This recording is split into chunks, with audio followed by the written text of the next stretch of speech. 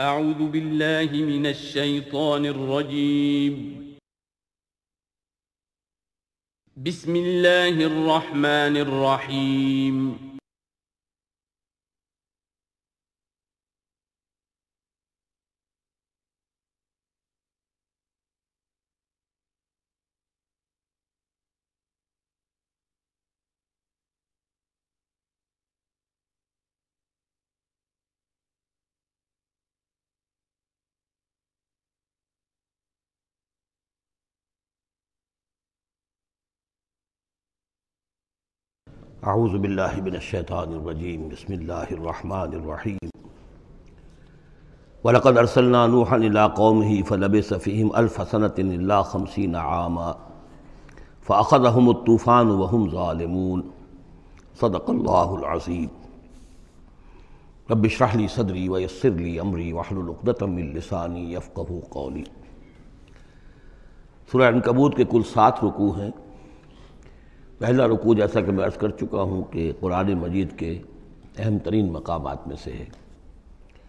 ख़ास तौर पर दावत और तहरीक और अल्लाह ताला के दीन के गलबे की जद्दोजहद में जो मसाइल दरपेश होते हैं कारकुनों को, उस दौर में जबकि प्रोसिक्यूशन हो, सताया जा रहा हो मुश्किल आ रही हों, क़ुरबानियाँ देनी पड़े तो उसके जितने भी मसाइल पैदा होते हैं, उन सब का बहुत ही जामे जो बयान है और रहनुमाई है, वो इस रुकू में आ चुकी है। तो ये नोट कर लीजिए कि मुताल कुरान हकीम के जिस मंतखब निसाब का मैं तस्करा करता रहा हूँ चंद दिनों से, उसका जो पाँचवा हिस्सा है, उसका पहला सबक जो है, वो इसी सूरान कबूत के पहले रुकू पर मुश्तमिल है। और ये उस हिस्से का यूँ समझिए कि बमंजिल फ़ातहा है उस हिस्से के लिए। अब जो बकिया छः रुकू हैं, उनमें तीन में अम्बाउ रसुल का मामला आ रहा है। लेकिन ज़ाहिर बात है कि यहाँ जो अम्बाउ रसुल आ रहे हैं तो बीच बीच में ख़ास तौर पर यही जो मसला है बैकग्राउंड में, जो मुसलमानों के मसाइल दरपेश हैं और जो इस वक्त हुजूर अलैहि वसल्लम और आपके साथी, जिन मसाइल से दो चार हैं और जो कुछ के कशाकश जो है मक्के में हो रही है, अहल कुफ्र और अहल ईमान के माबेन तो उसके यूँ समझिए बिटवीन द लाइंस वक्फे वक्फे से उसकी तरफ़ भी इशारे हैं। फिर जो बकिया तीन रुकू रह जाएँगे, उन तीन रुकुओं में दो लड़ियाँ हैं जो बटी हुई हैं। एक लड़ी में खिताब है मुश्किन अरब की तरफ़। और एक लड़ी में जो अहल ईमान थे, जो हजूर सरसम पर ईमान लाए थे, जो उन मुश्किल से दो चार थे, वहाँ भी फिर गिन कर दस हिदायत उनको दी गई हैं। लेकिन वहाँ यही है कि वो बटी हुई होने की वजह से लड़ियाँ, वो कटा फटा मामला होगा, जैसे कि सूर्य बकरा में मैं आपको बता चुका हूँ, या सूर्य निसा में। वलकद अरसल्ला नूह कौम ही और हमने भेजा था नूह को उसकी कौम की तरफ़, लब सफ़ीम अल्फ़सनत खमसिन आमा तो रहा उनके माबेन वो एक हज़ार बरस से सिर्फ़ पचास बरस कम, साढ़े नौ सौ बरस। हज़रत नूह का ज़िक्र कितनी मरतबा आ चुका है, लेकिन ये बात पहले कभी नहीं कही गई। यहाँ क्यों कही गई? क्या मुसलमानों, तुम अभी परेशान हो गए हो? अभी तो अभी इसके इम्तहान और भी हैं। और जैसे कि सूरह अनाम में आया था नबी, अगर आपको ये झुटला रहे हैं, वहीं युकज़बू का फ़कत कुछ ज़बा रसुल मिन कबलिक तो आपसे पहले हमारे रसूल थे, उन्होंने सब्र किया। ज़रा याद कीजिए कि हमारे बंदे नूह ने सलात वसलाम साढ़े नौ सौ बरस तक सब्र किया। तो है मुसलमानों, तुम सोचो, तुम अभी से घबरा गए हो। ये मौज परेशान हाथ, खातिर को पैगाम लबे साहिल ने दिया है, दूर विसाले बहर कभी तुम मौजों में घबरा भी गई फ़ाखत अहमद तूफ़ान वहम ालिमून तो उसकी कौम को हज़रत नूह की कौम को आप पकड़ा तूफ़ान ने और वो ालिम थे गुनाहगार थे फ़न जना हो असाब सफ़ीन थे तो हमने बचा लिया उसको यानी हज़रत नूह को और कश्ती वालों को वह जालना आयत आलमीन और उसे हमने बना दिया तमाम जहानों के लिए तमाम जहान वालों के लिए एक निशानी व इब्राहिम और हमने भेजा इब्राहिम को इस काल कौम ही जबकि उसने कहा अपनी कौम से उर्बुल्ला व तकू अल्लाह की बंदगी इख्तियार करो और उसका तकवा इख्तियार करो ज़ालिकुम इनकुम तुम तालमून, यही तुम्हारे लिए बेहतर है अगर तुम सब, अगर इल्म रखते हो। इनमा ताबुदून मिंदून अवसान ये जिनको तुम पूज रहे हो अल्लाह को छोड़कर, ये तो सिर्फ़ कुछ बुत हैं, उनके थान हैं जो तुमने बना लिए हैं, वो तखलकून इफ़ का और तुमने झूठ मूठ घड़ा हुआ है, ये इसकी कोई बुनियाद नहीं, कोई सनद नहीं, ना अक्ल में और न ही किसी अल्लाह की उतारी हुई किताब में। इन नदीन ताबुदून मिंदून रकुम रिस्कम ये लोग जिन्हें तुम पूछते हो अल्लाह के सिवा वो तुम्हें रिस्क नहीं देने देने का इख्तियार रखते। फब तगो इंदल्ला रिस्क का तो रिस्क तलाश करो अल्लाह के पास। अल्लाह से मांगो रिस्क, अल्लाह से अपनी मुश्किल कुशाई की दरख्वास्त करो। अल्लाह से अपनी हाजत रवाई के लिए दुआ करो। वाबदू हो और उसकी बंदगी करो। वशकरूल्ला और उसका शुक्र अदा करो। लह यकीन उसी की तरफ़ तुम लौटा दिए जाओगे। अब यह ज़िक्र हज़रत इब्राहिम का कर कर तवील जो है एक जुमला मोतरज़ा आ रहा है कि रुख मोड़ दिया गया है उस वक्त जो कशाकश हो रही थी हुजूर के और मुशरकिन मक्का के दरमियान। अब ज़िक्र उसका हो रहा है। वहीं तो कज़बू गोया कि अब खिताब हो रहा है अहल मक्का से। और अगर तुम झुटला रहे हो, फ़कत कस जबा उमिन कबल तो देखो, तुमसे पहले बहुत सी कौमों ने झुटलाया। वमा रसूल बलागुलमुबीन और हमारे रसूल पर, मोहम्मद पर अलैहि वसल्लम कोई ज़िम्मेदारी नहीं है सिवाय वाज तौर पर और साफ़ साफ़ पहुँचा देने के। अब अलम यारो कैफ़ुद्दिल्लाकल का सुबह योद हूँ क्या वो देखते नहीं है कैसे अल्लाह ताला तख्लीक पहली मरतबा करता है, फिर वो दोबारा भी करेगा? इन नज़ाल का अल्लाह यसीर, और ये अल्लाह ताला पर बहुत आसान है। कुल सिरू फिलर्द फ़नजरू और तो इनसे कहिए कि ज़रा घूमो फिरो ज़मीन में और देखो कैफ़ा बदाल खल्क, कैसे अल्लाह ताला पहले तख्लीक किया है उसने खल्क को। सुम्मत आखिरा। फिर अल्लाह उठाएगा या उठाता है? दुनिया में भी हो रहा है कि खेती जो है वो वो ख़त्म हो गई, फिर अगली फिर फ़सल आ गई, फिर फ़सल आ गई। तो ये तो एक साइकिल चल रहा है। और फिर ये कि अल्लाह ताला दूसरी मरतबा तुम्हें इसी तरह उठा देगा। नशत आखरा जो है आखरत की, जो तुम्हें उठाना है, वो अल्लाह के इख्तियार में है। इन अल्लाह कदीर, यकीन अल्लाह हर शहर पर कादिर है। युआज़ब मैं शाह व यरहम मैं शाह वो जिसको चाहता है अजाब देता है देगा और जिसको चाहेगा, रहम फरमाएगा। व इलह तुकलबून और उसी की तरफ़ तुम लौटा दिए जाओगे। वमान तुम भी जजीरा फिलर्द और तुम उसे शिकस्त नहीं दे सकते ज़मीन में, वला फिसमा न आसमान में, न ज़मीन में कहीं भाग कर न आसमान में कहीं भाग कर अल्लाह को आजिज़ कर सकते हो। वमालकुम बिंदुल्ला भी वली वला नसीर, और नहीं है कोई तुम्हारा अल्लाह के सिवा, न हिमायत, यानी अल्लाह के वरे, या अल्लाह के अल्लाह के मुकाबले में ये दून का लफ्ज़ बहुत से मानी देता है अरबी ज़बान में। देखना होता है किस कॉन्टेक्स्ट में क्या मानी है। इस कॉन्टेक्स्ट में अल्लाह के मुकाबले में तुम्हारा कोई ना वली होगा, ना नसीर होगा, ना कोई हिमायती, ना मददगार। वल्लदीन कफरू में आयात ही और जिन लोगों ने कुफर किया, अल्लाह की आयात का और उससे मुलाकात का इनकार किया उलाय का यसू बिन रहमती। ये वो लोग हैं जो मेरी रहमत से मायूस हो चुके हैं। वह उलाय कलहम अजाब नलीम और उनके लिए दर्दनाक अजाब है। यहाँ ये जुमला मोतरज़ा ख़त्म हुआ, और अब फिर हज़रत इब्राहिम का तस्करा आ रहा है। फमा का न जवाब कौम ही तो नहीं था कोई जवाब हज़रत इब्राहिम के कौम का अल्लान कालू, सिवाय इसके कि उन्होंने कहा उख्तलू हो और हर हो इस इब्राहिम को कत्ल कर दो या इसे जला दो। फ़नजाहमिनन्नार तो अल्लाह ताला ने उन्हें निजात दी आग से। इन नफ़ीज़ाल कल आयातिल कौमी यूमिनून, और यकीन इसमें निशानियाँ हैं उन लोगों के लिए जो ईमान रखते हैं। वक़ाल इन तखस्तुमिन अवसान मवदत बैनकुम फिल हयात दुनिया। अब ये है जो बहुत अहम जो बात है जो कही है उन्होंने।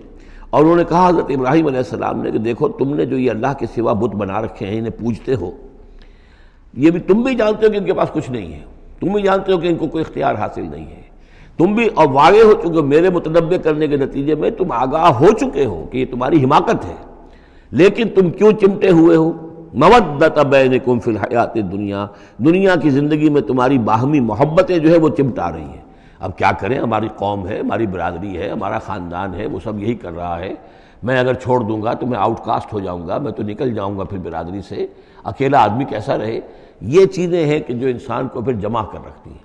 जैसे असबियत का ज़िक्र आया था पिछली सूरत में कि अब असबियत नहीं होनी चाहिए। इसी तरीके से ये असमियत ही नहीं, बल्कि ये कि जितने भी रिश्तेदारियाँ हैं, दोस्तियाँ हैं, कारोबार हैं, ये मामला जो है कि हक तुम पर मुनकशिफ हो चुका है। तुम जान चुके हो कि ये सिर्फ़ कोई शय नहीं है, ये तुम कर रहे थे, तुम्हारे आबा अजदाद ने जो रस्में डाली हुई हैं। और तुम्हें मैंने मुतनबे कर दिया है, तुमने अपने जियो में झाँक कर देख लिया है, अपने गरीबान में झाँक कर देख लिया है। और तुम्हें, तुम पर यह बात मुनकशिफ हो चुकी है कि जो मैं कह रहा हूँ वो ठीक है। फिर भी तुम जो चिमटे हुए हो अपने इस निज़ाम के साथ तो उसका सबब सिर्फ़ एक है वक़ार इन तखस्तुबिन मवदत बैन फिल हयाती दुनिया। तुम्हारी बाहमी मोहब्बतें जो हैं दुनिया की ज़िंदगी में, वो तुम्हें चिमटाए रहती हैं। यही मामला है इस दुनिया में, जब कोई तहरीक उठती है अल्लाह के दीन के काम करने के लिए, और बहुत मुखलिस लोग उसमें शामिल होते हैं, मेहनत करते हैं, कोशिश करते हैं। फ़र्ज़ कीजिए किसी शख्स से कोई गलती हो गई, कोई गलत रुख मुड़ गई तहरीक। अब वो तहरीक जो है वो काफ़ी अरसे के बाद उसके असरात ज़ाहिर हुए। उसके नतज जो है लोगों के सामने आ रहे हैं। महसूस भी हो जाता है कि ये वाक़ता हम किसी गलत रास्ते पर आ गए हैं। लेकिन ये कि फिर वो एक असबियत जमाती ऐसी पैदा हो जाती है कि सब कुछ मानने के बावजूद फिर उस जमात को छोड़ने को तैयार नहीं होते। हमारी दोस्तियाँ हैं, हमारी रिश्तेदारियाँ हैं, हमारे कारोबारी ताल्लुक हैं। या ये कि कुछ लोगों के तो अपने मफादात भी उसमें शामिल हो जाते हैं। इसलिए कि कुछ अरसे के बाद हर जमात जो है, वो एक फ़िरका बन जाती है। जैसे कि आपको मालूम है कि अल्लाह ताला ने इस उम्मत के लिए जो है, वो तीन चीज़ों का बंदोबस्त किया है, ख़त्म नबूत के खला को पुर करने के लिए। नबूत ख़त्म हो गई मोहम्मद रसूलुल्लाह पर। तो जो खला पैदा हुआ, वो तीन चीज़ों से पुर हुआ। नंबर एक, कुरान की हिफाजत का जिम्मा अल्लाह ने ले लिया जबकि न तौरात का लिया था, न इंजीन का लिया था। नंबर दो, हर सदी में मुजद्दीन के उठाने का अहतमाम कर लिया, ऐसे लोग उठाते रहे। नबी तो नहीं होंगे, वही नहीं आएगी। लेकिन वो दीन को ताज़ा करेंगे। दीन की हकीकी तालीबात जो लोग भूल चुके होंगे, दोबारा याद दिलाएँगे। दीन की असल हक़ की तरफ़ मुतवजह करेंगे। और तीसरा यह कि एक जमात ज़रूर कायम रहेगी हक़ पर। ला तदालफ़ी उम्मती तायफ़तुल्कायमीन हक़। अब होता क्या है? एक सदी में कोई एक मुजद उठा, उसने मेहनत की, कोशिश की, जद्दोजहद की कुछ लोग उसके गिरद आ गए, जमा हो गए आवान अंसार हो गए, वो एक जमात बन गए। लेकिन ये कि अगली नस्ल में क्या होगा? ये लोग जो आए थे, इसके साथ ये तो आए थे फेस वैल्यू पर उसको कबूल करने के, ये दावत सही है। लेकिन उनकी औलाद अब इसलिए चिमट रही है कि हमारे वालिद थे इस जमात में। अब ये असमियत का एक सिलसिला शुरू हुआ। तीसरी नस्ल में आकर फिर ये हो जाता है, इतने अरसे में उस जमात का एक हल्का बन गया, उसके आपस के दोस्तियाँ हैं ताल्लुक हैं लेन देन में ये रिश्तेदारियाँ भी हो गई हैं। लिहाजा वो एक फ़िरके की शक्ल इख्तियार कर लेते हैं। अब उस फ़िरके के साथ चिमट कर लोग रहते हैं। लेकिन फिर अल्लाह ताला किसी और को उठाता है। और फिर कोई अल्लाह का बंदा जो है उसी काम को असर नौ शुरू करता है। यही होता आया है। इसीलिए हर सदी में मुजद्दीन इसलिए कि तीसरी नस्ल में आकर दावत जो है, वो लाजिमन उसके अंदर ख़राबी पैदा हो जाती है। इसलिए कि हजूर ने भी फरमाया, खैर उम्मती करनी सुम्मल लदीन यलून हूँ सुम्मल लदीन यलून हूँ बेहतरीन मेरी उम्मत का दौर तो है मेरा अपना दौर। फिर वो जो मेरे बाद हैं और फिर वो जो उनके बाद हैं। तो तीन नस्लों को आपने खैर करार दिया है। उसके बाद ज़ाहिर बात है, जवाल आया है, हमारे यहाँ भी आया है। जब हुजूर की कायम की हुई जमात में जवाल आ गया तो और कौन होगा बड़ा से बड़ा शख्स जिसकी कायम की हुई किसी जमात में जवाल ना आए? तो ये तो चीज़ें होती हैं, लेकिन हर शख्स को हर वक्त देखना चाहिए कि आज के दौर में दीन का वो काम किसके हवाले अल्लाह ने किया है, किसको तोफ़ी दी है, जो सही तरीके पर उस काम को कर रहा है। और उसका साथ देना चाहिए। किसी जमाती असबियत जिस तरह किसी कबायली असबियत के अंदर मुबतला नहीं होना चाहिए, ऐसे ही किसी जमाती असबियत में भी मुबतला नहीं होना चाहिए। ये है वो अहम बात जो यहाँ आई है काला इन तखस्तुम इन दोन अवसान मवदत बैनकुम फिर हयात दुनिया। सुम यौम क़यामत यकफर बादकुम बादन।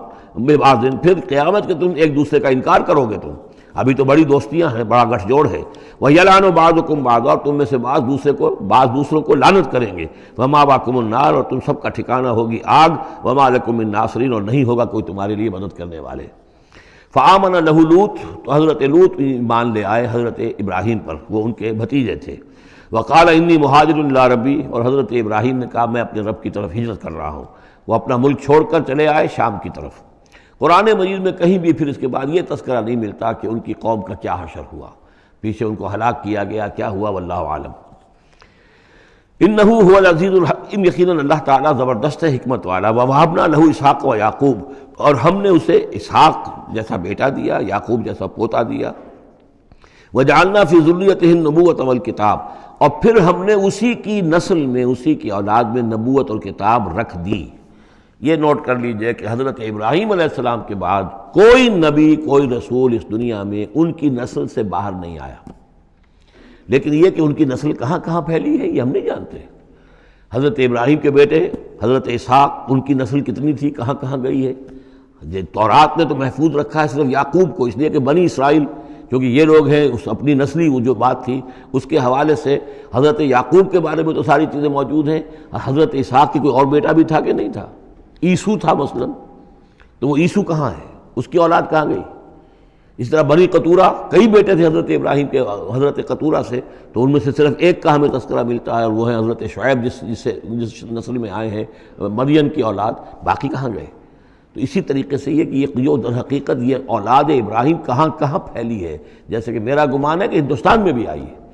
न सिर्फ़ ये कि हो सकता है कि हज़रत इसहाक की औलाद में से ईसू की औलाद आई हो और वो यहाँ पर आबाद हुई हो, लेकिन ये कि इनका ताल्लुक भी, ये ख़ास तौर पर ब्राह्मण तबका जो है, मैं समझता हूँ कि वो इसी तरीके से इब्राहिम की नस्ल से है। ब्राह्मा, ब्राह्मण ब्राह्मण ब्राह्मण इब्राहिम से ताल्लुक़ रखने वाला, ब्राह्मण। तो ये मैं समझता हूँ कि लफ्सी जो है उसके अंदर मुनासबत मौजूद है। वल्लाह आलम, यकीन से हम नहीं कह सकते अल्लाह ये कि कोई शख्स हिस्ट्री का, इसको अपना रिसर्च का मौजू बनाए, बड़ा आलिम हो, वो लाइब्रेरियाँ जो हैं खंगाले और पुरानी तारीखें देखे, शायद। वहाबना लहू इसहाक व याकूब व जानना फ़िज़ुलियत नबूत अवल किताब, हमने उसी की नस्ल में, उसी की औलाद में नबूत और किताब रख दी। तवील अरसे तक वो नबूत और किताब आती रही हज़रत याकूब की औलाद में, फिर आखिरी नबूत और रिसालत हज़रत इस्माइल की औलाद में। वह आतना हो अजरहू फिर दुनिया, हमने उसे अजर जो है दुनिया में भी अता फरमाया।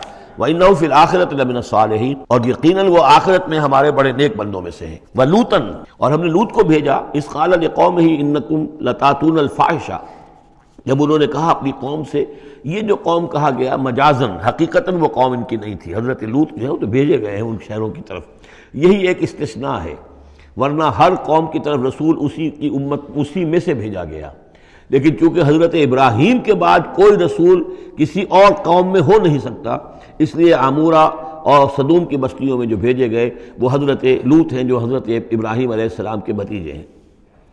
इन नकुम लतातून अल्फाहिशता, तुम जो, तुम लोग बड़ी बेहयाई का इरतकब कर रहे हो, मा सबक कुम बिहा तमाम जहान वालों में किसी कौम ने तुमसे पहले ये हरकत नहीं की। अनकुम लतातुन रिजाला क्या तुम मर्दों की तरफ़ आते हो अपनी शहवत को पूरा करने के लिए? वक्त वक्ताउन सबील। और रास्ता मारते हो। यानी फितरत का रास्ता तो ये है, औलाद होती है तो होती है मर्द और औरत के मिलाप से। तुमने जो रास्ता इख्तियार किया तो गोया कि उस फितरत की राह को तुम काट रहे हो। वतातून फ़ी नादी को मुलमुन कर और तुम अपनी मजलिसों में ये इसका इरतकब करते हो। ये उनकी बेहयाई की और ढिटाई की इंतहा हो गई थी। फमा काना जवाब, कौम ही तो नहीं था। जवाब उसकी कौम का कोई अल्लाह कालू, सिवाय इसके कि उन्होंने कहा ए तना बेअजाब इनकुन तमिन सादकिन, ए लूत, अगर सच्चे हो तो अल्लाह का अजाब ले आओ। काल रब इंसुरनी अलकौमफसदीन तो उन्होंने हज़रत लूत ने दुआ की, परवरदिगार, मेरी मदद फरमा इन मुफसदों के खिलाफ। वलम्मा जात रसुलना इब्राहिम अबिलबुशरा और जब हमारे जो एलची थे, यानी वो जो फरिश्ते आए थे इंसानी शक्ल में, इब्राहिम के पास बिशरा लेकर, बशारत लेकर हज़रत इसाक की विलादत की। कालू इन्ना मोहलिक अहल हादिल करिया, उन्होंने कहा कि हम हलाक करने के लिए भेजे गए हैं इन बस्ती वालों को। इन अहलहा कानू ालमीन यकीन उसके जो बस्ती वाले जो हैं, इस बस्ती के लोग रहने वाले, वो बड़े ालिम हैं, गुनाहगार हैं। काला इन फ़ीहा लूता। इब्राहिम ने कहा, उसमें तो लूत भी तो है उसी बस्ती के अंदर। कालू नहन आलम मनफीहा उन्होंने कहा, हमें खूब मालूम है कि कौन कौन है उसमें। लनुनजियनमराता हम उसे बचा लेंगे, निजात देंगे, उसको भी, उसके घर वालों को भी, सिवाय उसकी बीवी के। कानत मिनल गाबरीन, वो होगी रह जाने वालों में।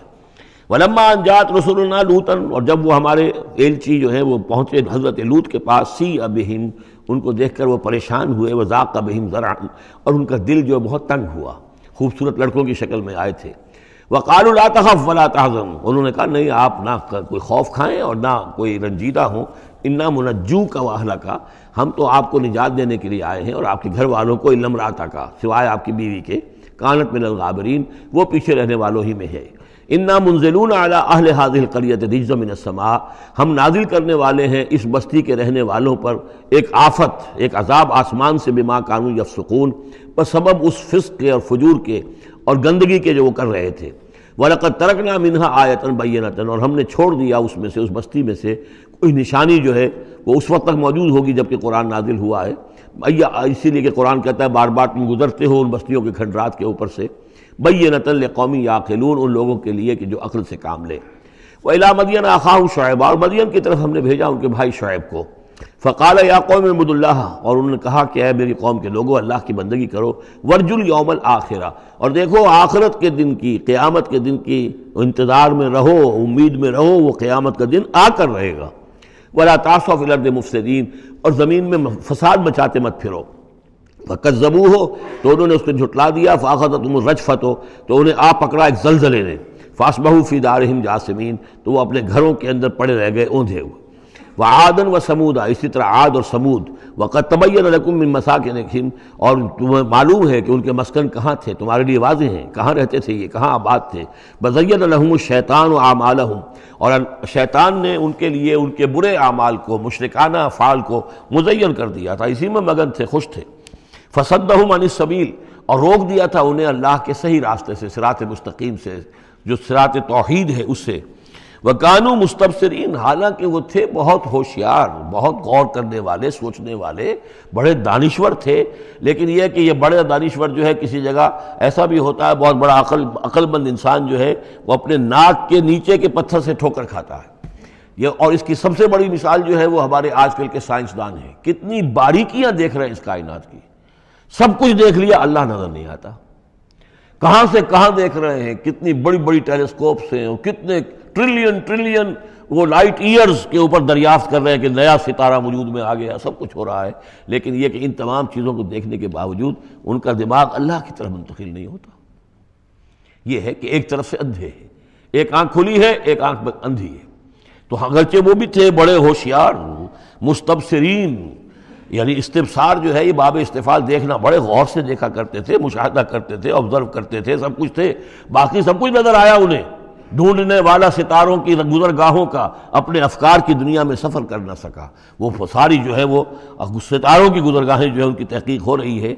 लेकिन यह कि मैं खुद कौन हूँ, कहाँ से आया हूँ, कहाँ जा रहा हूँ? मेरी ज़िंदगी का माल क्या है? उसका मकसद क्या है? बस पैदा होना, खाना पीना, जानवरों की तरह रहना और ख़त्म हो जाना। Is that all is death the end of our existence क्या मौत पर हमारे वजूद का खात्मा हो जाएगा? तो क्या ज़िंदगी हुई? उम्र दराज मांग के लाए थे चार दिन। दो आरज़ू में कट गए, दो इंतज़ार में। कितना वक्त तो गुजर गया, बचपन के अंदर अभी फहम ही नहीं था। लड़कपन है, उसके बाद नौजवानी है, उसके कुछ अपने ही और और जो है उसका, उसकी कैफियत होती हैं। जब ज़रा होश और शूर आया है, एक ज़रा होश में आने के ख़ताकार हैं हम, और उसके बाद फिर बुढ़ापा आ गया, और उसके बाद जो है निकले, कहला यालम बाद इल्मिन शया। बस यही ज़िंदगी है। ये अशरफुल मखलूक़ात है। ये मसजूद मलाइक की ज़िंदगी ये है। नहीं। असल ज़िंदगी तो है, तू इसे पैमाना इमरोज़ व फरदा से न नाप। जावेदा पे हम दवा हरदम जवा है ज़िंदगी। वो ज़िंदगी तो अबदी है। ये तो उसका छोटा सा हिस्सा अलहदा करके एक इम्तहानी वक्फ़ा बना दिया है इसे। इसे एक इम्तहानी वक्फ़ा है, तीन घंटे का नहीं, तीस साल का सही, बस। इसके अलावा कुछ नहीं। क्वान्टिटेटिव फ़र्क है क्वालिटेटिव नहीं। वह कारून व फ़िरौन व हामान।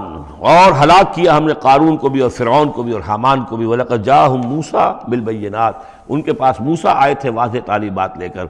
फस्तकबरू फिलर्द उन्होंने ज़मीन में तकबर किया व माँ कानू सबकीन। लेकिन यह कि वो हमारी पकड़ से बचकर निकल जाने वाले नहीं थे। हमसे आगे नहीं निकल सकते थे। फ़कुल्ल न खजना बेजम ही हमने सबको पकड़ा उनके गुनाहों की पादाश में। फ़मिन मनरसल्ला हासिबा। तो इनमें वो भी थे कि जिन पर हमने ऐसी ज़ोरदार हवा भेजी, जिसमें पथराव था। वो हवा जो है उन पर पथराव कर रही थी। तो ये कौम लूत पर भी हुआ है और बाद रात के नज़दीक कौम आद पर भी। सखरहम समान व समानियत यामिन रसूमन फ़तर कौम फ़ीसा सरा एक ऐसी तेज़ आंधी आई है। सात दिन और आठ, सात रातें और आठ दिन चलती रही कि उसने उठा उठा कर पटखा है और उसमें वो कंकर भी थे, वो बुलेट्स का काम कर रहे थे। जो छोटे और से बड़े पत्थर थे, वो काम कर रहे थे मिसाइल्स का। तो ये सब के सब हलाक हो गए। फमिन हम मन अरसल्ला हासिबा वमिन हम मन अखजतुसहा और इनमें से वो भी थे कि जिनको एक चिंगाड़ ने आ पड़ा, आ पकड़ा। ये समूद और अहले मदियन थे। वमिन हम मन खसफ नाबिल अर्द। इनमें वो भी थे कि जिन्हें हमने ज़मीन में धसा दिया। ये कानून का मामला है, जो सूर्य कसस में आ चुका है। वमिन हम मन अगरकना। और वो भी थे जिन्हें हमने गर्क कर दिया। और गर्क करने के दो तरीके हुए। एक तो ये कि जो कौम आबाद थी, कौम नूह, जहाँ थी, वही गर्क किया, वही का वही। लेकिन ये कि एक ये है कि फ़िरौन को और उसके फ़ौज को और लाओ लश्कर को उनके महल से निकाल कर उनकी, उनके शहरों से निकाल कर लाकर और दरिया समंदर में गर्क किया। वह माँ कान अल्लाह लेकिन अल्लाह ताला उन पर जुल्म करने वाला नहीं था, वलाकिन कानू अनफुसम यसलमून बल्कि ये तो वो खुद अपने ऊपर जुल्म कर रहे थे। मसलजीन तखदु मिंदून अलिया का मसल अंकबूत। ये भी इसकी, इस इस हिस्से की, इन तीन रुकुओं की बड़ी अहम आयत है तमसील है। मिसाल उन लोगों की कि जिन्होंने अल्लाह के सिवा किसी को अपना हिमायती बना रखा है। ये हिमायती गैर मरई भी हो सकते हैं, जैसे ये हमारी देवती, देवी है, ये देवता है, ये इसकी कृपा चाहिए, इसका, इसकी नज़र करम हो, ये हमारे जो अलिया अल्लाह हैं, ज़रा उनकी तरफ़ से अगर कुछ हम, हमें फैस पहुँच जाए। और ये भी होता है दुनिया में भी मादी एतबार से भी। और ये जो भी कॉज एंड इफ़ेक्ट का सिलसिला, उसके तहत भी तो हम आखिर लोगों को अपना दोस्त समझते हैं, ये हमारे हिमायती हैं, ये हमारी मदद करेंगे। लेकिन वाक़ ये है कि सिवाय एक अल्लाह की दोस्ती के, बाकी सारी दोस्तियाँ जो हैं, वो मकड़ी के जाले जितनी बस मज़बूत हैं, इससे ज़्यादा नहीं है। मसलजीन तखदुम इंदूनिया का मसल अनकबूत, जिन लोगों ने अल्लाह को छोड़कर किसी और को अपना पुष्टपना और मददगार बनाया है, किसी और पर तवक्ल है, किसी और पर सहारा है अमरीका हमारी मदद करेगा। वो जो कुछ सन इकहत्तर में हुआ, वो आपको मालूम है। वो बेड़ा उसका जहाज़ भी आ रहा था, लेकिन ये कि कोई मदद हमारी नहीं की गई। कोई नहीं है, कोई किसी का सहारा बनने वाला नहीं है। सहारा तो अगर कोई है तो वो अल्लाह है। लेकिन उसको तुमने छोड़ दिया। उसको सहारा नहीं बनाया। मसलजीन मसलजीन तखदुबिंदून लाया का मसल अंकबूत इतखदत बैता। ये बकरी भी तो एक घर बनाती है, जाला बनाती है। वही ओहनल बुयूत बैतुलकबूत और सब जानते हैं कि तमाम घरों में सबसे ज़्यादा कमज़ोर घर वो इस मकड़ी का घर है। लो कानू आलमून काश के इन्हें मालूम होता। इन यदून नहीं बिन शय। अल्लाह खूब जानता है कि जिस जिसको ये पुकार रहे हैं, अल्लाह के सिवा कोई शय है ही नहीं। वह अजीज़ुल हकीम, और वह ज़बरदस्त है हमत वाला। व तिलकल अमसाल नज़र बहाल नास वमा याक़िलमून और ये मिसालें हैं कि जो हम लोगों के लिए बयान करते हैं, लेकिन नहीं समझते इनसे, मगर वही लोग के जो इल्म रखने वाले हैं।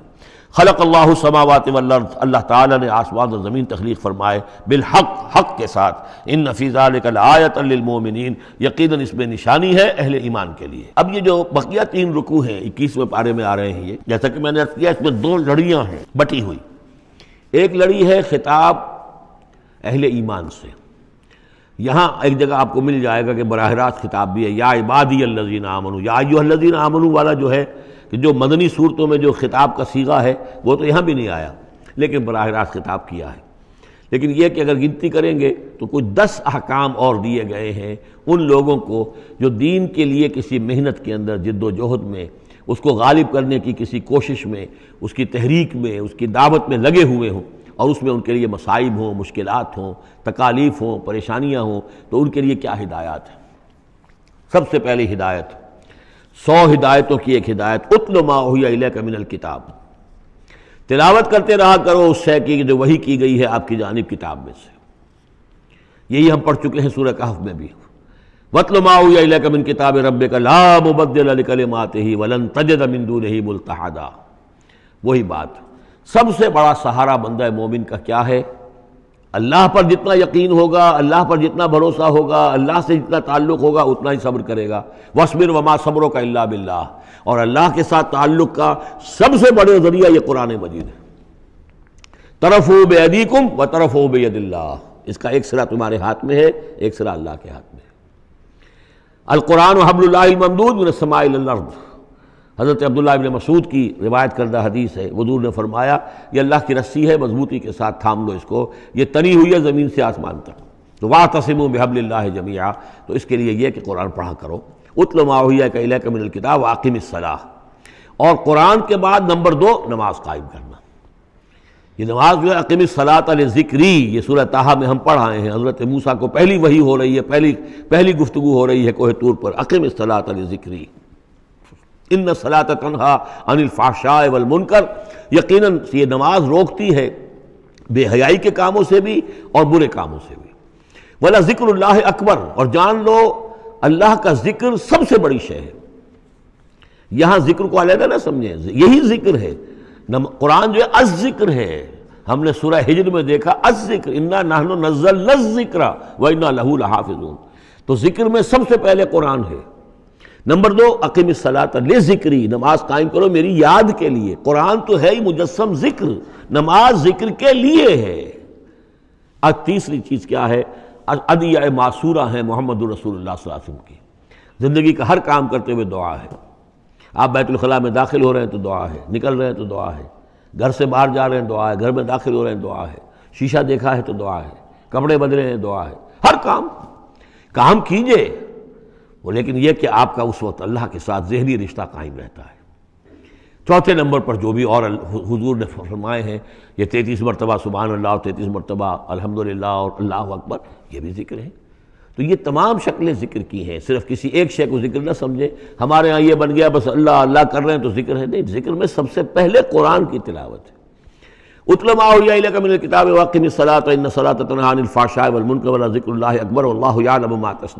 एक तो ये हिदायत हो गई, अल्लाह खूब जानता है जो तुम कर रहे हो। दूसरी हिदायत, वला तो जादल किताब बिल्लती आसन जिन्हें पहले तुमसे किताब दी गई थी, उनसे झगड़ा मत करो, मगर बेहतरीन तरीके पर उनसे बात करो तो बड़े ही उसलूब से करो, खूबसूरती से करो, बात को समझाने के लिए करो।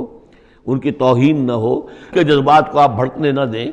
उनमें हमीयत जाहली जो है, अपनी इम्कानियत तक तो कोशिश करें कि वो वो भड़के ना।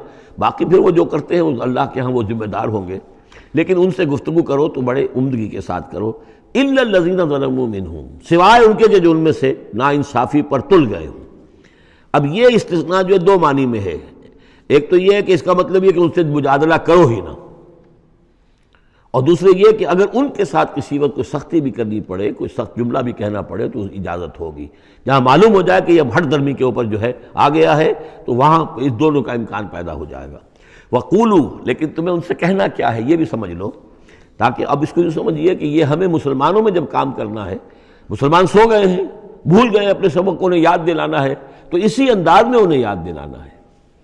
बोलो, आमन्ना बिल्लजीला उनसे कहो, भाई, हम तो ईमान रखते हैं, उस पर भी जो तो हमारी तरफ़ नाजिल किया गया और उस पर भी जो आपकी तरफ़ नाजिल किया गया।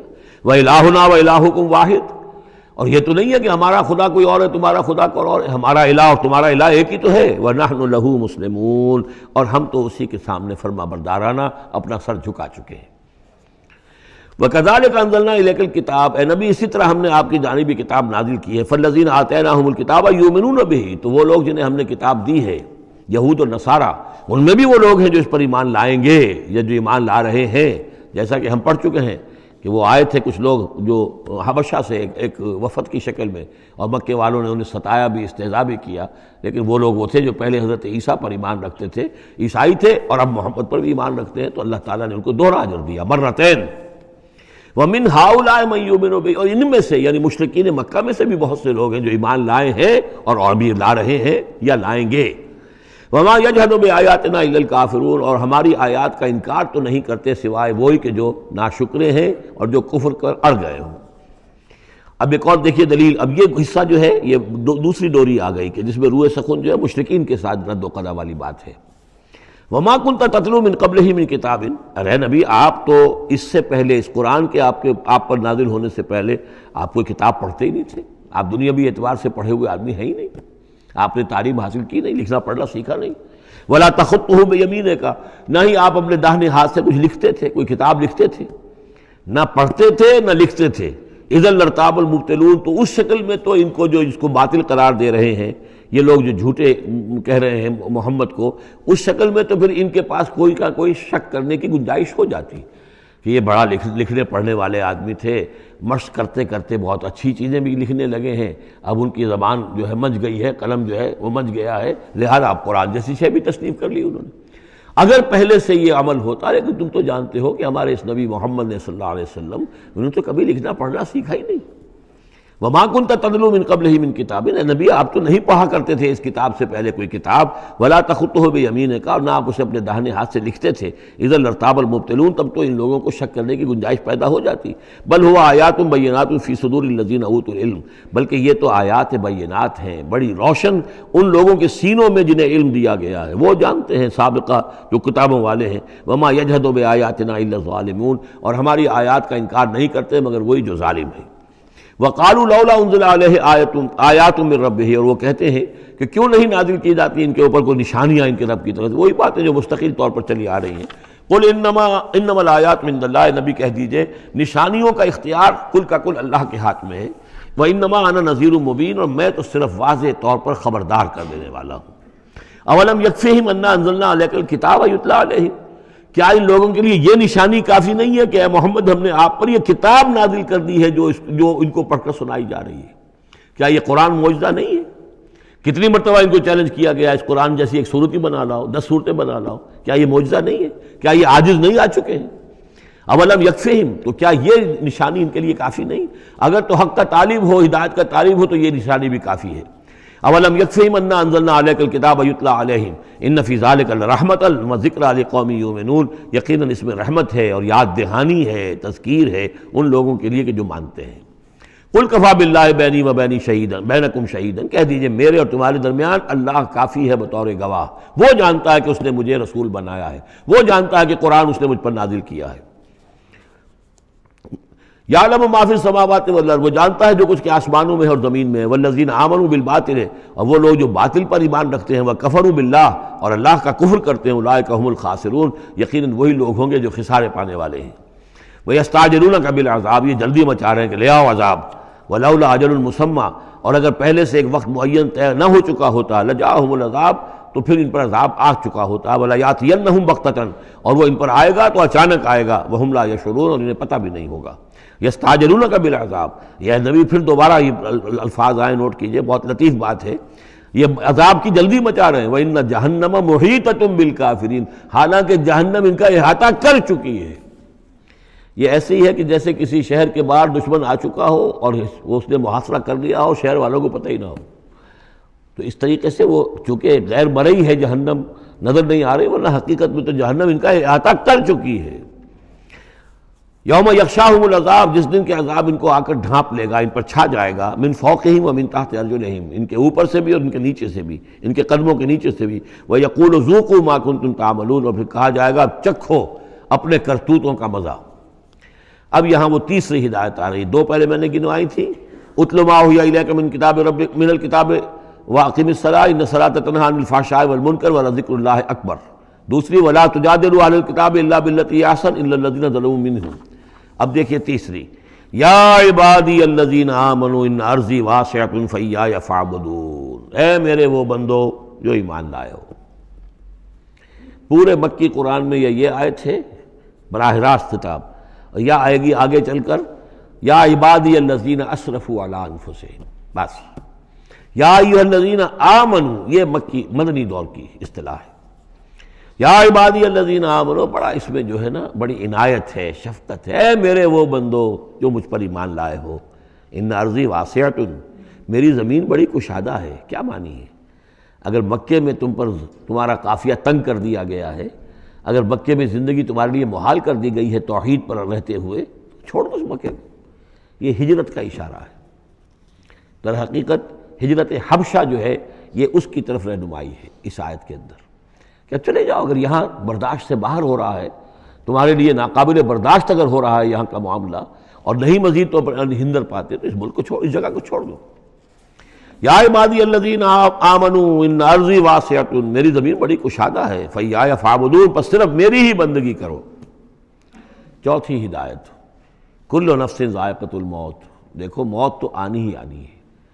आज आ जाए, कल आ जाए। आज ना आए, कल आ जाएगी। आखिर अम्मार और यासिर को अबू जहल ने अगर फ़र्ज़ करो कि ज़िबा कर दिया है तो फ़र्ज़ कीजिए कि चंद दिन और जीते तो मौत तो फिर भी आनी थी ना। तो कुल्लो नफ्स मौत, अगर ये बात जहन में रहे कि मौत तो आनी ही आनी है, आज नहीं तो कल तो फिर भी इंसान जो है उसके अंदर हिम्मत बनी रहेगी कि मैं खाम का अपनी ज़िंदगी बचाने के लिए हक़ को छोड़ूँ और बातिल से साजबाज करूँ उससे मुसालहत करूँ। सुम महिलाना तुरजाऊन, और फिर तुम हमारी तरफ़ लौटा दिए जाओगे। पांचवी बात, वल्लजीन आमन आमिल सालहत गुरफन। हमारे इस वादे पर पुख्ता यकीन रखो कि जो ईमान लाएँगे और नेक अमल करेंगे, हम लाजमन उनको जगह देंगे उस जन्नत के बाला खानों में। जो सूरह फुरकान के आखिरी रुकू में आया था उलाय का युजौन गुरफत अब सबरू उन्हें गुरफा बाला खाना मिलेगा। तो मिनल जन्नत गुरफन जरो के बाला खाने मिलेंगे जन्नत के। तजरी मिन ताहार खालदीन फ़ीहा, जिसके नीचे नदियाँ बहती होंगी, उसमें वो हमेशा हमेशा रहेंगे। ने माजरुल क्या ही अच्छा होगा अमल करने वालों का अजर। छठी बात, अल्लजीन सबरू वाला रबिम तवक्लून वो लोग कि जो सब्र करें और अपने रब पर तवक्ल करें। सब्र करो और तवक्ल करो, दो ही चीज़ें हैं। जो आए, झेलो, सब्र करो, बर्दाश्त करो। और जो कुछ करना है, उसमें तवक्ल अल्लाह पर हो। अपनी ज़ात पर नहीं, अपनी ताकत पर नहीं, अपनी सलाहियत पर नहीं, अपनी जहानत पर नहीं, अपनी फतानत पर नहीं, अपनी लियाकत पर नहीं। सारा तवक्ल अल्लाह पर। ना मादी इसबाब वसाइल पर। अगली हिदायत और आ रही है। वकाई मिंदाबत तहमिल रिस्क कहा यह भी ना समझो कि तुम्हारा रिस्क जो है किसी के कब्जे में है, वो रोक देगा। और तुम्हें क्या खाओगे, क्या पियोगे? वकाई मिन दाबतन तुम देखते नहीं कितने हैवानात हैं ज़मीन में, ला तहमिल रिस्क कहा क्या वो अपना रिस्क उठाए फिरते हैं? बड़ा प्यारे अल्फाज है, इंजील में मती की इंजील में हज़रत मसीह का जो पहाड़ी का आवाज़ है, उसमें उन्होंने अपने शागिर्दों से खिताब करके कहा, क्यों फ़िक्र करते हो कि क्या खाओगे, क्या पियोगे? जंगल की चिड़ियों को नहीं देखते? ना वो काश्त करती हैं, ना हल चलाती हैं, ना बीज बोती हैं, ना फ़सल काट कर कहीं रखती हैं, ना खत्ते भरती हैं। फिर भी मैं तुमसे कहता हूँ कि वो खाली पेट सुबह घर से निकलती हैं, शाम को आसूदा होकर आ जाती हैं। तो जो जो रब, तुम्हारा जो रब इन, इनको, चिड़ियों को खिला रहा है, वो तुम्हें नहीं खिलाएगा? और क्यों फ़िक्र करते हो कि क्या पहनोगे, लिबास कहाँ से मिलेगा? जंगल की शोषण को नहीं देखते? कि जितना खूबसूरत लिबास उसको अल्लाह ने देख रखा है, ये जो भी पौधे हैं और जो फूल हैं उनके तो सुलेमान भी अपनी सारी शान शौकत के बावजूद वैसा मुलबस न था। वैसा खूबसूरत लिबास तो सुलेमान को भी मैसर नहीं था, जो अल्लाह ने इन फूलों को दे रखा है। तो गौर करो, जो वो ज़मीन की इस घास फूस को और इन पौधों को इस कदर हसीन लिबास दे रहा है, उमदा लिबास दे रहा है, जो अभी हैं और कल नहीं होंगे, या ये कि काट कर और वो चूल्हों में जला दी जाएगी घास तो क्या वो तुम्हें नहीं पहनाएगा? लेकिन तुम यकीन नहीं करते। तवक्कुल और ईमान, ये दोनों चीज़ें साथ साथ जाएँगी। जितना अल्लाह पर ईमान है, उतना ही तवक्कुल होगा। जितना ईमान कमज़ोर है, तवक्कुल भी नहीं हो सकेगा। तो अल्लाजीन सबरू वाला रब ये तवक्लून व कई मिंदाबत कहा ये सारे जो हैं, चौपाए अपना रिस्क लिए नहीं, फिरते अल्लाह यर्ज़ुक़हा वैयाकुम अल्लाह उन्हें भी रिस्क देता है, तुम्हें भी देगा। वह हुआ समीम और यकीन वो सब कुछ सुनने वाला, जानने वाला है। ऐसा नहीं कि उसे मालूम ना हो कि मेरा बंदा भूखा है, मेरा वफादार, मेरा सिपाही, मेरे दीन के लिए काम करने वाला। उसे ये मालूम ना हो कि उसको एहतियाज है, उसकी कोई ज़रूरत है। वो न मालूम किसके दिल में डालेगा कि जो उसके लिए ज़रिया बना देगा उसको और उसकी ज़रूरत पूरी हो जाएगी। अब उसके बाद वो दूसरी कड़ी आ गई कि जिसमें फिर अब वो मुश्किन मक्का से, वाला इन सालता मन खलक समावत वलरद व सखर शमथवल कबर। अगर इनसे आप पूछेंगे, किसने पैदा किया आसमान और ज़मीन? और किसने मुसखर किया सूरज और चाँद को? यकूल वो कहेंगे, अल्लाह ने। फ़ाना यो फ़कून फिर फिर कहाँ से ये लौटा दिए जाते हैं? अल्लाह अफसतरस्कल में शाह बिन वादी व यह अल्लाह ही है कि जो अपने बंदों में से जिसके लिए चाहता है रिस्क को शादा कर देता है और जिसके लिए चाहता है माप तोल कर देता है, कम कर देता है।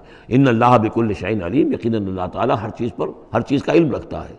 वला इन सालता हूँ मन नदला समाए मान फाहिया भी लरदम बाद मोतहा।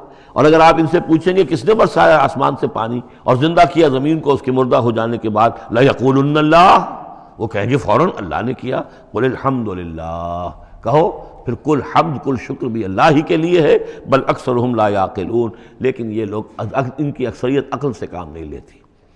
अब अगली और हिदायत आ रही अहल ईमान के लिए हयात दुनिया वलाइब व इन दार आखरत हयावान लौ कानू देखो मुसलमानों, ये दुनिया की ज़िंदगी तो खेल कूद के सिवा कुछ नहीं। खेल है, कुछ जी का बहला लेना है। ये ड्रामा है जो हो रहा है यहाँ बादशाह होता है, कुछ अरसे के लिए बादशाह। जैसे ड्रामे में बादशाह होता है। लेकिन जब मरेगा तो क्या वो बादशाह कहाँ रह जाएगी? ऐसे ही ड्रामे से निकल आएगा, लिबास उतार देगा। तो एक एक्टर का एक्टर है, चाहे वो फ़कीर था पहले उस ड्रामे के अंदर, और दूसरा एक्टर जो है बादशाह था। बाहर निकल कर तीन घंटे के बाद दोनों के दोनों एक जैसे हैं, और वो ना वो बादशाह बादशाह है, ना वो फ़कीर फ़कीर है। तो ये है आरसी सा है। लेकिन ये कि इन दारन आखिरत हयावान, यकीनन आखिरत का घर, वो है असल ज़िंदगी। ज़िंदगी वो है। लो कानू आलमून काश के हमें मालूम होता। लो कुन्ना नालमो, काश के हमें मालूम होता। ये भी नोट कर लीजिए आखिरत को सिर्फ़ मान लेना कि हाँ आखिरत है बास बादल मौत है, ये काफ़ी नहीं है। ये मालूम हो कि असल ज़िंदगी वही है। मैंने जो उसकी तशबी जो है बयान की है बाद मौाक़े पर, कि एक किताब होती है, एक उसका दीबाचा भी होता है, उसका कोई ज़मीमा भी होता है, छोटा सा ज़मीमा। हमारा जो तस्वुर है वो ये कि असल किताब ज़िंदगी तो ये दुनिया की ज़िंदगी है। हाँ एक ज़मीमा अब लगा हुआ है आखरत का। उसकी अहमियत हमारे नज़दीक इतनी है। ज़मीमा है बस। दुनिया की ज़िंदगी असल ज़िंदगी है। होना क्या चाहिए कि ये दुनिया की ज़िंदगी तो दीबाचा है। असल किताब जो है वो आखरत की ज़िंदगी है। ये रेशो प्रोपोर्शन कम से कम। हालाँकि वैसे तो फाइनाइट और इनफाइनाइट के दरमियान को रेशो प्रोपोर्शन हो ही नहीं सकती। एक लामहदूद ज़िंदगी और एक महदूद ज़िंदगी क्या क्या इसमें रेशो प्रोपोर्शन होगी? लेकिन यह कि फिर भी अगर कोई करनी है तो दिबाचा और किताब किताब ज़िंदगी असल मौत के बाद खुलेगी। ये दिबाचा है, ये मुकदमा है। हमने क्या समझा? असल ज़िंदगी, किताब ज़िंदगी ये है हाँ एक ज़मीमा भी इसके साथ है, जिसका नाम आखरत है। फ़ैज़ा रखे वो फिलफुल फिर उन्हीं मुशरकिन से फिर खिताब हो रहा है, और ये मजमून कई बार आ चुका है। जब ये सवार होते हैं कश्ती में दाबुल्लाह मुखलसिन लहुद्दीन तो फिर ये अल्लाह ही को पुकारते हैं, उसके लिए अपनी इतात को खालिश करते हुए। फलमा नजाउमबर और जब अल्लाह ताला इन्हें निजात दे देता है खुशकी की तरफ़ इदाहम युशरकून तो फिर ये शिर करना शुरू कर देते हैं। ले यकफरू बिमा आते हैं ना ताकि ये नाशुक्री करें और कुफर करें हमारी दी हुई नेमतों की। भले भले तमत्ता और ताकि बस मज़े उड़ा लें। फ़सौफ़ यालमून, फिर ये जान लेंगे। अल्लाह को मुतकासुर तुमकाबिल कल्ला सौफत आलमून सुम कल्ला सौफत आलमून असल हकीकत तो उस वक्त खुलेगी। अवलम यरा जालना हरमन आमिनन। ये फिर अहले ईमान से कहा जा रहा है। क्या ये देखते नहीं कि हमने हरम को इनके लिए अमन की जगह बना दिया है? वह तो खतफुलनासमिन और लोग जो है, उचक लिए जाते हैं उनके इर्द गिर्द से। बाकी अरब के अंदर तो अमन अमान था ही नहीं। अफबिल बातिल नमत यकफरून तो क्या ये बातिल पर ईमान रखते हैं? और अल्लाह की नेमत का ये कुफरान कर रहे हैं। वह मन अजलम ममन इफ्तरा कज़िबन और कसब अबिलहक लम्मा जाहू। उस शख्स से बड़ा जालिम और कौन होगा जिसने कोई चीज़ घड़ कर अल्लाह की तरफ़ मनसूब कर दी? और इसी तरह वो शख्स कि जिसने अल्लाह की तरफ़ से आए हुए हक की तकजीब कर दी, जबकि उसके पास आया। ये दोनों हम बदन जुर्म हैं। यानी अगर मैं झूठ मूठ कुरान जो है खुद तस्लीफ करके अल्लाह की तरफ़ मनसूब कर रहा हूँ तो मुझसे बड़ा जालिम और गुनागार कोई नहीं। लेकिन यह भी सोच लो, अगर वाक़ता ये अल्लाह का कलाम है जो मैं तुम्हारे सामने पेश कर रहा हूँ और तुम उसकी तकजीब कर रहे हो तो तुमसे बड़ा जालिम कोई नहीं। अल सफ़ी जहन्नम मसवल काफरीन तो क्या जहन्नम ही में ठिकाना नहीं है इन काफिरों का? और आखिरी आज जो है, फिर उसी सीजे में लनाहदियन वल्लजीन जाहदूफ़ीना अहल ईमान की दिलजोई के लिए घबराओ नहीं, परेशान ना हो। वल्लजीन जाहदूफ़ीना लनाहदियन सो बोलना वो लोग के जो हमारी राह में जिहाद करें, मेहनत करें, कोशिश करें, जद्दोजहद करें, कुर्बानियाँ दें इशार करें, उन्हें मुतमिन रहना चाहिए। हमारा पुख्ता वादा है मुक्द वादा है, हम लाजमन उनकी रहनुमाई करेंगे अपने रास्तों की तरफ़। लदाहदियन सुबोलना। व इन मोहसिन और यकीन अल्लाह ताला साथ है अहले एहसान के। जो अल्लाह ताला के पर ईमान और यकीन उस दर्जे का रखते हों और उसके लिए तन मन धन लगाने के लिए तैयार हो तो अल्लाह उनके साथ है। यानी अल्लाह की नुसरत साथ है, अल्लाह की मदद साथ है, अल्लाह की ताइद साथ है। सूरत रूम बसमीम अलिफ्लामीम गलबत रूम फ़ी अदनल अर्द वहम इम्बाद गलब सयगलबून फ़ी बिज़ सनीन। लामर बिन कबल व मिम्बाद व यौम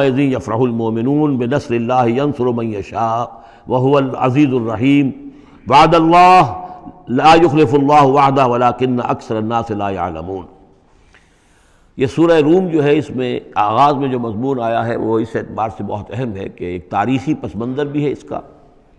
और एक बहुत बड़ी पेशन गोई थी कि जो इन आयात में की गई थी कि जो फिर सही सही एग्जैक्टली जैसे कि पेशन गोई अल्लाह ने की थी इन आयात में, वो पूरी हुई। ये आप जहन में रखिए कि बहुत तवील अरसे तक, कई सौ बरस तक तारीख़ के अंदर जब ये ईरानी एम्पायर बनी है क्या खुसरो से, साइरस से, के ज़माने से, ढाई हज़ार साल पहले जो बादशाह था, जुलकरनैन। तो एक बड़ी सल्तनत ये थी और दूसरी बड़ी सल्तनत जो थी, वो सल्तनत रोमा थी। सल्तनत रोमा का सबसे बड़ा हिस्सा तो खैर रूम, जो यूरोप के अंदर था, लेकिन ये कि ये तुर्की का पूरा इलाका और मगरबी मेडिटेरियन के साथ साथ जो साहिल है, ये उनके पास होता था। इन दो हुकूमतों में जैसे सी सौ होता है, झूला झूल रही थी तारीख कभी ईरानियों में कोई ज़ोरदार ताकतवर बादशाह उठा, बासलाहियत, उस वो, उसने हमला किया और रूमियों को धकेल दिया, वो यूरोप के अंदर और एशिया खाली करा लिया। कभी रूमियों में कोई ज़बरदस्त ताकतवर, कोई बादशाह उठा जो कि उस, जिसके अंदर सलाहियत थी, वो आकर ईरानियों को धकेलता हुआ पीछे ले जाता था। तो इस तरीके से ये सी सौ जो है, ये कई सौ बरस तक जारी रहा। हुजूर की बेसत के ज़माने में ऐसा मामला हुआ है कि सन 614 में 602 से लेकर 614 तक। और हुजूर की विलादत हुई पाँच सौ इकहत्तर में। यानी जब हुजूर की उम्र इकतीस बरस थी, उससे लेकर और 45 बरस की उम्र तक, एक मुसलसल जंग चली है इन दोनों के माबेन, रूम और और ईरान की। लेकिन सन सन 614 में एक बड़ी ज़बरदस्त शिकस्त दी। कै खुसरो परवेज़, कै खुसरो सानी, वो अपने आप को कहता था। पहला कै खुसरो तो था जुलकरनैन, और सानी मैं हूँ अब। बहरहाल ये एक बड़ा बासलाहियत हुक्मरान था। इसने शिकस्त दी है रूमियों को बहुत बुरी तरह। शाम में, अब ये चूँकि रूमी ईसाई हो चुके थे, सन तीन सौ ईस्वी में ये ईसाई हो चुके थे। यरूशलेम इनका मुकदस मकाम था, लेकिन नाम रखा हुआ था एलिया। सन सत्तर में जो यरूशलेम को उन्होंने बर्बाद किया था तो उसके बाद हेड्रियान एक रोमन एम्पर था, जिसने कि दोबारा आबाद किया यरूशलेम को, और लेकिन उसका नाम बदल दिया। अब यरूशलेम नहीं था, ये उसका नाम था एलिया। एलिया में इनकी वो सलीब भी थी, जो इनके अकीदे के मुताबिक हज़रत मसीह सलाम को जिस पर सलीब दी गई थी, इनका मुकदस मकाम थे ये। इन सबसे भी इनको खदेड़ दिया, तकरीबन तुर्की से भी निकाल दिया, इस्तंबुल जो है कुस्तुनतुनिया उस पर भी अंदेशा हुआ कि शायद ईरानी हमला कर देंगे। इस हद तक रूमियों का हाल पतला हो गया। अब हो ये रहा था कि जो अरब में, मक्के में इधर हुजूर की दावत है, शुरू हो चुकी है, पाँच बरस हो गए हुजूर को दावत देते हुए, या ये क्या पंद्रह बरस होने को आए हैं? लेकिन होता यह था कि ये मुशरकिन मक्का ये समझते थे कि ईरानी तो हमारे भाई हैं, वो मुशरक हैं आतिश परस्त हैं। और ये नसरानी जो है, ये ईसाई जो है, ये मुसलमानों के करीब तर हैं, इसलिए कि ये ईसा को मानने वाले, मूसा को मानने वाले तो ये लोग जो है उनसे करीब हैं। तो वो बंगले में जा रहे थे कि मुसलमानों, तुम्हारे जो साथी हैं या तुम जैसे जो लोग हैं, तुम्हारे करीब के लोग पिट रहे हैं। देखो, हमारे साथी जो हैं, वो बड़े फतेहमंद हो रहे हैं, वो आग के पूजने पूजने वाले, वो मुशरक। जो ना मूसा को मानते हैं, ना ईसा को मानते हैं, ना तौरात को मानते हैं, ना इंजील को मानते हैं, उन्होंने तुम्हें, तुम्हारे उन साथियों को किस तरीके से खदेड़ दिया है, शिकस्त दी है तो उस पर मुसलमानों को सदमा हुआ। इस पर यह आयात नादिल हुई कि अगर इस वक्त तो की सूरत की बन गई है, लेकिन चंद ही सालों के अंदर ये सूरत बदल जाएगी और यह कि रूमियों को गलबा हासिल हो जाएगा। ये पेशन गोई की गई। इस पर फिर हज़रत अबू बकर सिद्दीक ने किसी काफिर मुशरक से एक शर्त भी मान ली कि अगर ये कुरान की पेशन गोई दुरुस्त साबित हुई तो तुम मुझे सौ ऊँट दोगे और अगर गलत साबित हुई तो फिर मैं तुम्हें सौ ऊँट दूँगा। लेकिन हुजूर, उन्होंने किए थे शायद तीन चार साल की का ये अहद किया था। हुजूर ने कहा, नहीं, बिज़ा का लफ्ज़ आ रहा है इसमें कि चंद सालों के अंदर बिज़ा का लफ्ज़ जो है, वो नौ तक इतलाक़ होता है। तो नौ साल को रखो और शर्त जो है दोबारा अपनी, उस नौ साल के हवाले से ऊँटों की तादाद भी बढ़ा दी गई। लेकिन यह कि फिर शर्त की मुद्दत नौ साल हो गई। लेकिन नौ साल के नवे साल ही वो जो है, वो जो पेशन गोई कुरान की थी वो सही साबित हुई। हिरकल जो था, हिरकलियस हिरकल आज़म, उसने फिर लंबा चक्कर दिया बजाय इस रास्ते से आने के। वो बोहरा कैस्पियन की तरफ़ से होकर, पीछे से होकर आया है और सरप्राइज़ अटैक किया उसने ईरान पर और बड़ी ज़बरदस्त शिकस्त दी ईरान को और अपनी शिकस्त का बदला चुका लिया और ये सारा इलाका शाम वगैरह का जो है, वो उसने वागुदार करा लिया। और वही था ज़माना जबकि मुसलमानों को मैदान बदर में फतह हासिल हुई। तो ये शिकस्त दो खुशियाँ जमा हो गई मुसलमानों के लिए कि एक तो ये कि जो उनके करीब तर थे यानी ईसाई उनको फतह हासिल हो गई मुशरकिन के साथ के, के मुकाबले में कि जो मुशरक मुशरकों से करीब तर थे आतिश परस्त थे। दूसरे ये कि खुद उन्हें फतह हासिल हो गई फ़तेह मुबीन अलफ़ुरक़ान आ गया बदर का। उसका ज़िक्र है नायात में। अलिफ्लामीम गोलबत रूम रूमी मगलूब हो गए फ़ी अदनल अर्द करीब की सरजमीन में। वो जोग्राफिया तो आपको दिखाया था नक्शा जजीरा नुमाए अरब, और उसके ऊपर एक तरफ़ शाम है, एक तरफ़ इराक है, और उधर इराक़ के साथ में ईरान है। तो करीब जजीरा डुबाई अरब से करीब तरीन ममालिक हैं। फ़ी अदन करीब के मुल्क में रूमी गालिब आ गए। लेकिन वह हम इम्बाद गलबहिम से यगलबून वो अपनी इस मकदूबियत के बाद अन करीब दोबारा गालिब आएँगे। फ़ी बिज़ सनीन, चंद सालों में। और ये बिदा का लफ्ज़ जो है, ये नौ तक पर इसका इतलाक़ होता है, दस से कम कम, नौ। तो हुजूर ने इसीलिए कहा कि नौ साल चूँकि तुम शर्त मांग रहे और शर्त उस वक्त तक शर्त लगाना हराम करार नहीं दिया गया था। अभी ना जुए की हरमत आई है, ना शराब की हरमत आई है, इसलिए उसमें आप कोई ताजुब न करें कि हज़रत अबू बकर ने शर्त लगाई। तो फरमाया अलिफ्लामीन गलबत रूम वहमबाद गलब अल्लाह ही का इख्तियार था, अल्लाह ही के हाथ में था सारा मामला, पहले भी और बाद में भी।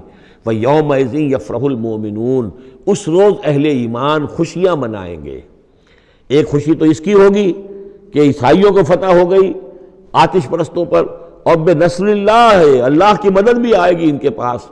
यानी गजवा बदल का लफ्ज़ तो नहीं आया, लेकिन अहले ईमान को जो है उस वक्त फरहत हो गई। बेनसल्ला अल्लाह की मदद से यन शाह वो मदद करता है जिसकी चाहता है, वह रहीम, और वह ज़बरदस्त है, रहम फरमाने वाला।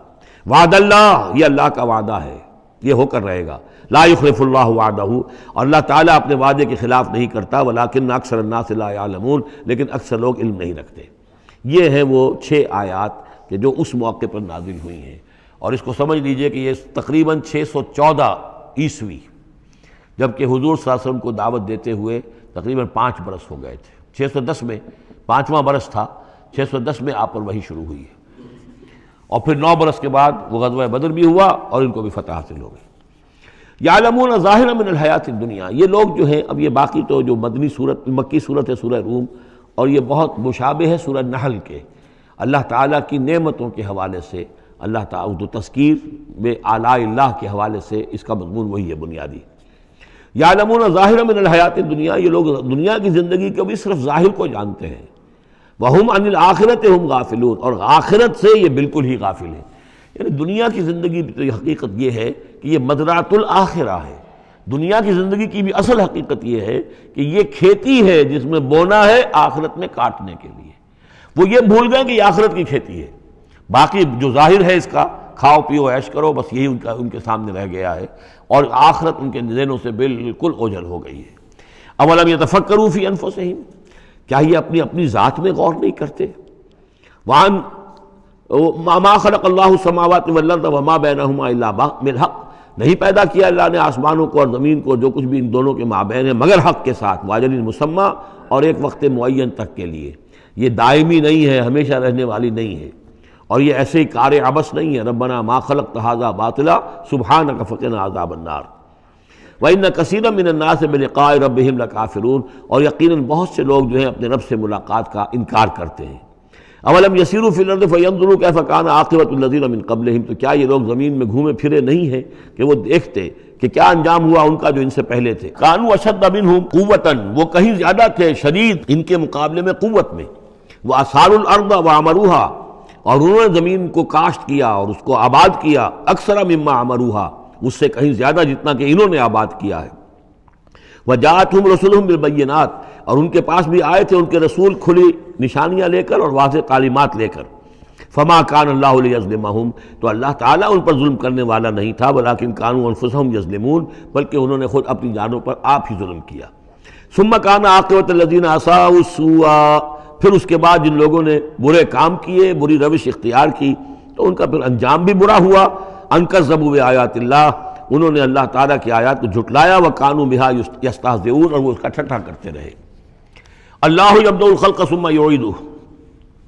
अल्लाह ताला ही ने अल्लाह ताला पहली मरतबा पैदा करता है, सुम्मा योईद हो ही बार बार आया है, इसका तर्जुमा कहीं मैं हाल में कर रहा हूँ, और कहीं मुस्तबिल में। फ़ेल मुजारे जो अरबी ज़बान में, वो दोनों को कवर करता है। अल्लाह ताला कैसे पैदा करता है? पहली मरतबा, और फिर दोबारा पैदा करता है। यानी फ़सल है, एक हुई है उसके बाद दूसरी हुई है, तीसरी हुई है। और यह भी है कि दोबारा पैदा करेगा, यानी आखरत में। सुबह इलह तुरजाउन फिर तुम्हें उसी की तरफ़ लौट जाना है। वह वयोम तकोमसात मुजरिमून, जिस रोज़ क़्यामत कायम हो जाएगी, मुजरिम उस रोज़ जो है बिल्कुल मायूस होकर रह जाएँगे। वलम यकुल्लहम शरकाहिम शफाव और नहीं होंगे इनके शरीकों में से कोई भी इनके लिए शफात करने वाले। व कानू बेशरकाम काफरीन, और ख़ुद ये भी उस रोज़ फिर अपने उन शुरका का कुफ्र करेंगे, जब देखेंगे कि वो हमारा कोई मदद करने को तैयार नहीं। वह यौम तकुमसात योम जी तफर्रकून, जिस रोज़ क़्यामत कायम होगी, उस रोज़ ये तकसीम हो जाएँगे, पोलराइजेशन हो जाएगी अलहदा अलहदा हो जाएँगे। क्या होगी पोलराइजेशन? फ़ामल नजीन आमन आमिर सालहत फ़ाम फ़ी रोज़त योहमरून। तो वो लोग जो ईमान लाए थे और जिन्होंने नेक अमल किए थे, वो होंगे बाग में और वहाँ उनकी आव भगत हो रही होगी तोज़ो हो रही होगी। वह अम्मल नजीन कफर व कज़बू में आयातना व लिकाइल आखिरत। और वो लोग जिन्होंने कुफर किया था और हमारी आयात को जुटलाया था और आखिरत की मुलाकात का इनकार किया था वह उलाय कफिल अजाब मोहदरून तो वो अजाब में हाजिर कर दिए जाएँगे। पकड़े हुए गिरफ़्तार करके अजाब में लाकर हाजिर कर दिए जाएँगे। फ़सुबहान अल्लाह तुम सुन वही न तुस्बहून। ये उसी अंदाज में देखिए सूर्य नहल में ये आयत आई थी। बस, और अनआम में भी। फिर अल्लाह ही पाक है। उस वक्त भी जब तुम्हें शाम होती है, तुम शाम करते हो। वही ना तुस्बहून, और जबकि तुम दोपहर होती है, वही न तुस्बह जब सुबह करते हो। वह लहुल हमद फिर समावत वल्लर्द और उसी के लिए है हमद और तारीफ़ आसमानों में और ज़मीन में। वह आशीन वही ना तुजहरून, और रात के वक्त भी, और जबकि दोपहर होती है, जहर का वक्त होता है। ये भी नमाज़ों के अवकात ही के हवाले से। सुबह के वक्त की नमाज़ है, शाम के वक्त की नमाज़ है, रात की नमाज़ है, जहर की नमाज़ है। युखरजुलहैया मिनलमैत वो निकालता है ज़िंदा को मुर्दा से। अंडा बेजान शह है, उसमें ज़िंदगी के कोई आसार मौजूद नहीं है, उसमें से चूज़ा बरामद होता है, जानदार। वह युखरजुलमैत मिनलहई इसी तरह मुर्गी से अंडा बरामद होता है। और और भी जो बहुत सी चीज़ें कि जो निकल रही हैं। वह योही लर्दा बाद मौतहा, और वो ज़िंदा कर देता है ज़मीन को उसके मरने के बाद। व कज़ाल का तुखरजून, और इसी तरीके से तुमको भी निकाल लिया जाएगा कब्रों से, ज़मीन में जहाँ तुम दफन होगे, जहाँ तुम्हारे अज्जा तहलील हो चुके होंगे। लेकिन अल्लाह ताला इसी तरीके से उस उस मुर्दा ज़मीन में से जैसे फ़सल निकाल लेता है, तुम्हें निकाल ले आएगा बारक अल्लाह वलकुम फ़िल कुरान अज़ीम व नफ़ानी वैया कुम बिल आयात वज़िक हकीम।